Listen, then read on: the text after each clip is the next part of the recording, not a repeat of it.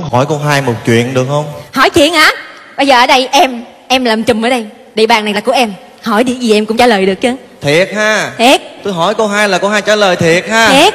Tôi muốn hỏi anh hỏi cái gì? Tôi muốn hỏi hỏi gì lẹ đi. Tôi muốn hỏi cưới cô hai.